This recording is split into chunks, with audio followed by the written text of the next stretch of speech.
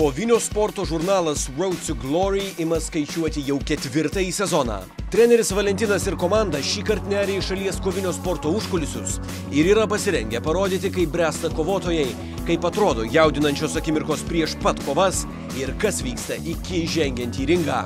Kelias išlovę be pagražinimų kiekvieną pirmadienį 20 val. per Sport 1 ir Sport 1 HD.